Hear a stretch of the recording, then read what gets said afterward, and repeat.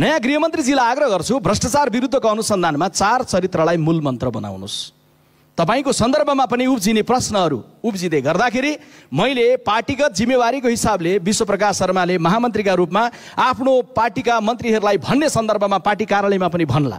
तर जनताबाट निर्वाचित भएर आएको यहाँ उभिएको एउटा प्रतिनिधि सभाको सदस्यको रूपमा काङ्ग्रेसको या एमालेको या प्र- प्रतिपक्षमा हुँदा सत्ता पक्षमा हुँदा जुनसुकै अवस्थामा पनि वस्तुगत भएर विवेकका साथ बोल्ने भन्ने शपथ मैले माटो सँगसँगै खाएर आएको छु। त्यसकारण मैले त्यो तथ्यलाई राख्नुपर्छ।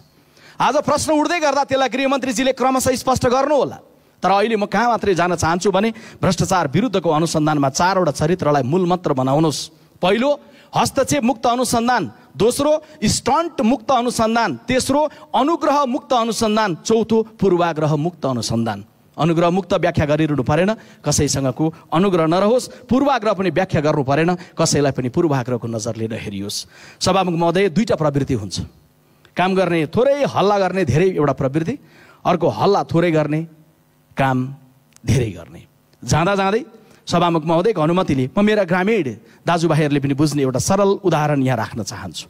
हामी सबै जान्दछौँ हाँसले अलिकति ठुलो अन्डा पार्छ।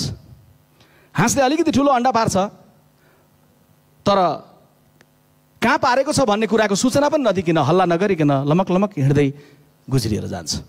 कुखुराले अलिकति सानो अन्डा पार्छ तर यसरी कहाँ कहाँ कुकुक गर्छ कि? मानले चितवनको गैँडा नै पायो कि उसले भन्ने खालको ढङ्गले हल्ला गर्छ। म सरकारका गृहमन्त्रीजीलाई सरकारमा सामेल सबै मन्त्रीजीहरूलाई नयाँ सरकारलाई नयाँ प्रधानमन्त्रीलाई नयाँ गृहमन्त्रीजीलाई कहाँ कहाँ कुकुक धेरै गरेर अन्तिममा फाइल खोल्दै गर्दाखेरि तपाईँको पालामा केही पनि खुलेको थिएन भनेर यहाँ उभिएर कसैले जवाब दिने खालको नबनाउनु होला। एक्काइसौँ शताब्दी छ सचेत नेपाली छन् सबैले बुझ्छन् कि सरकारमा गएर कहाँ कहाँ कुकुक बढी भयो या काम बढी भयो भनेर। एक्काइसौँ शताब्दी हो कामको प्रचार स्वयं काम आफैले गर्छ। म सम्माननीय प्रधानमन्त्री केपी ओलीको नेतृत्वमा बनेको यो सरकारलाई सफलताको शुभकामना दिन चाहन्छु। दुईटा दलले मिलेर बडा जिम्मेवार भएर आपसका विमतिहरूलाई आफ्नै ढङ्गले संवाद र छलफलबाट त्यसलाई स्वीकारेर त्यसलाई सुरक्षित गरेर हामीले अगाडि जाँदै गर्दा हामीले सम्बोधन गर्न सक्नु छ आम नेपाली नागरिकमा जे जस्ता प्रश्न उब्जिएका छन् ती प्रश्नहरूलाई हल गर्ने सामर्थ्य राख्नु छ।